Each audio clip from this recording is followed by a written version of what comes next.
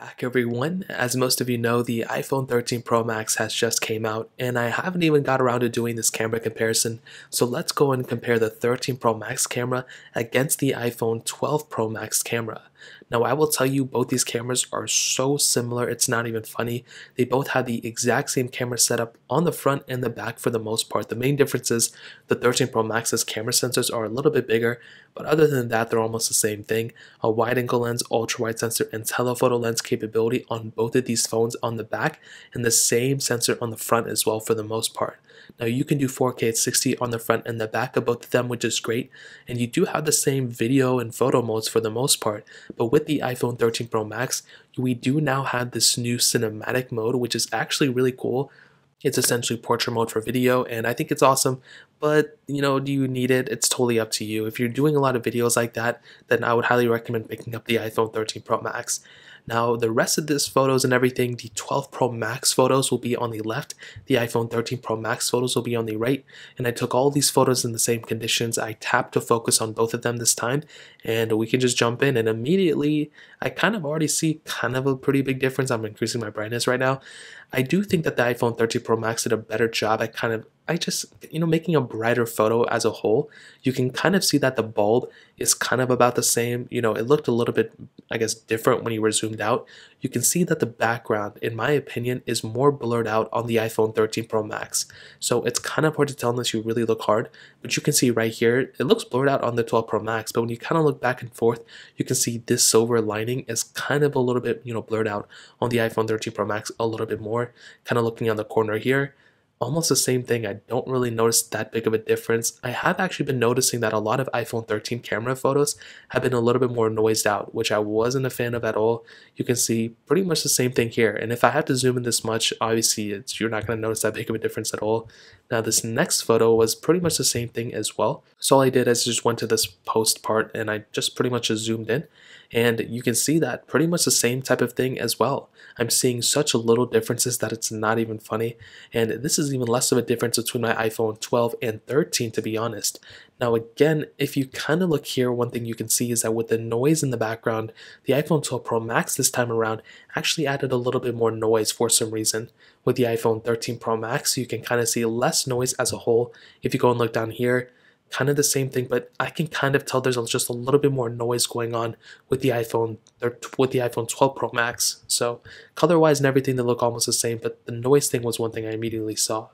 Now this time around, you can see that there's a little bit of a difference with the coloring a little bit. It looks like the iPhone 12 Pro Max photo looks a little bit darker, with the iPhone 13 Pro Max photo looks a bit lighter.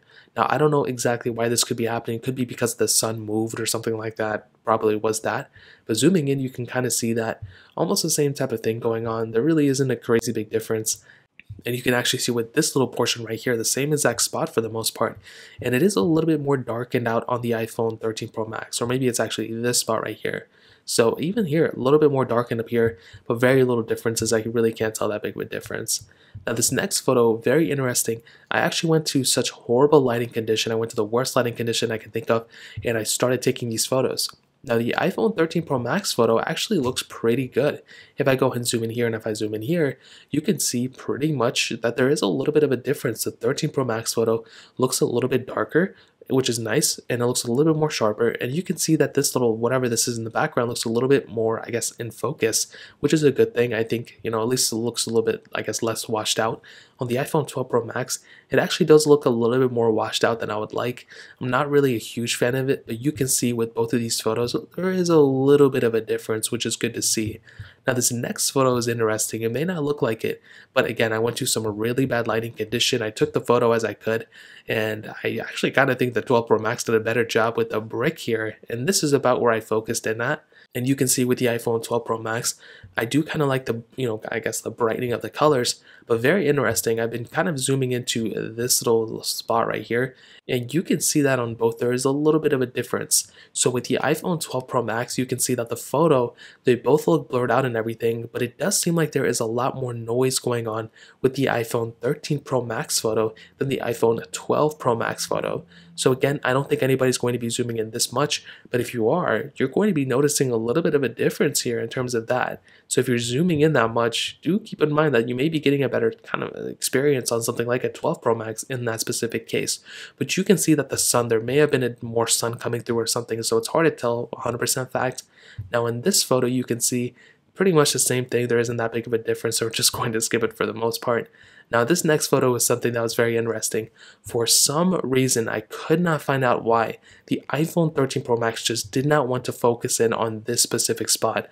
I, I just kept trying over and over again and I was just not able to do it. So because of that, this one is kind of a wash. I wish it wasn't because it's one of my favorite photos that I like to compare because there's a lot of different points.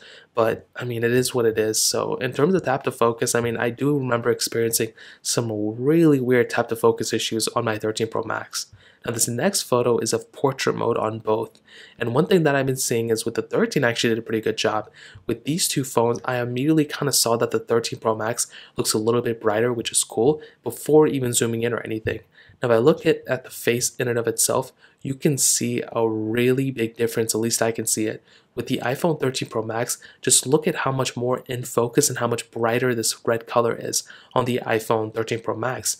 With the iPhone 12 Pro Max, you can see it still looks good, but even on top of that, it looks like there's a little bit more blurring going on with the iPhone 13 Pro Max, and the background is more brighter on the iPhone 13 Pro Max as well. So if we go and look at like this side of both of these photos, let's see if there's a difference. And I can't really tell a big difference if I go and look on this side. I don't really see a massive difference as well, but again, you can kind of see that the background is more bright on the iPhone 13 Pro Max. So definitely on portrait mode, you're definitely getting a little bit of a better experience, I would say for sure.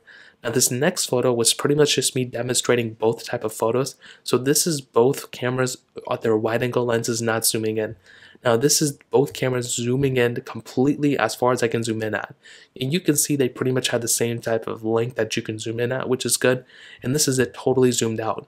So you can see pretty much the exact same thing as well. So because they have the same type of camera setup, you're pretty much getting the same type of camera capability when it comes down to zooming in and zooming out.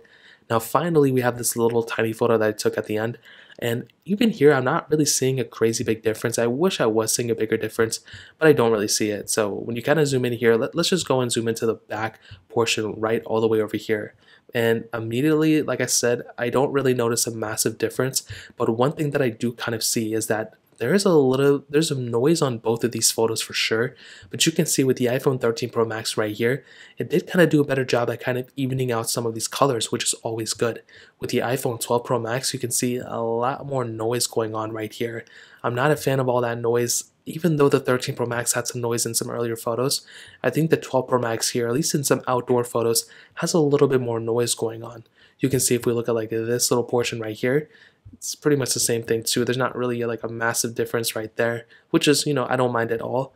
And even here, like it looks about the same too. So I will definitely say one thing about these outdoor photos, the 13 Pro Max does a way better job or a, a little bit of a better job on these outdoor photos than the iPhone 13 Pro Max, than the iPhone 12 Pro Max. So in terms of that, that covers up a majority of the camera comparison. And to be honest, I'm going to tell you, I do think that the iPhone 13 Pro Max is a slightly better camera. I don't think it's better in every single way, but there are some key areas where the iPhone 13 Pro Max definitely beats the iPhone 12 Pro Max. I'm kind of seeing in portrait mode, I'm kind of seeing on different things like that. It actually does a really good job. But on the 12 Pro Max, I'll say it's still very good. Like it's a very close comparison here. I do think the 12 Pro Max is still very, very good though. There's been a few little areas where like, oh, it's like a little bit more noisy here or whatever, but it's really not that big of a deal. And unless you're really looking at it, you're really not going to notice that big of a difference anyways. So in terms of that, that pretty much covers it up here. If you guys have any other other questions or anything, let me know in the comment section as well.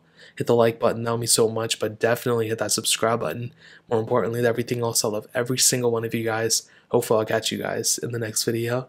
Peace out till then.